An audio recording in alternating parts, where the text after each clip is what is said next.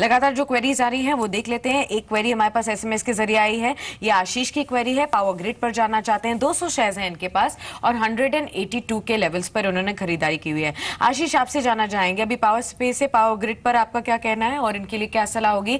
203 के लेवल्स पर तो आ चुका है। तो मुनाफे में है। आज भी एक परसेंट तक के आसपास की तेज़ी है। आगे यही कंटिन्यू होते हुए नज़र आ रहा है आपको?